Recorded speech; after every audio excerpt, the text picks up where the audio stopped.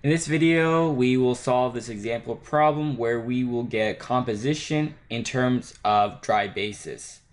So we have 100 moles of a wet gas, a gas that contains 50 mole percent of N2, 20 mole percent of CO2, 10 mole percent of oxygen, and 20 mole percent of water.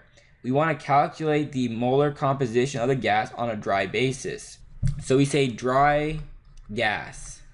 And for the dry gas, it's everything except water. So we have 100 moles, 50 mole percent. So that means 50 moles of N2, uh, then 20 moles of CO2, and then 10 moles of O2. We ignore water because we're doing a dry basis. And so next we do 50 plus 20 plus 10 gives us 80.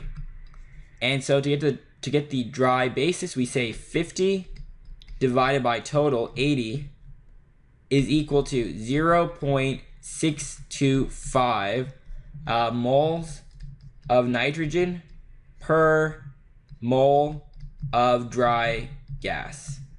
And we do the same thing for CO2 and oxygen. So 20 divided by 80 would give us 0.25 uh, moles of CO2 divided by moles of dry gas.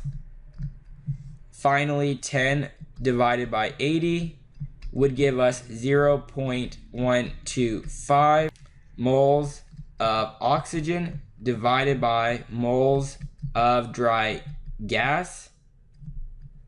And that's all we need to do for this problem.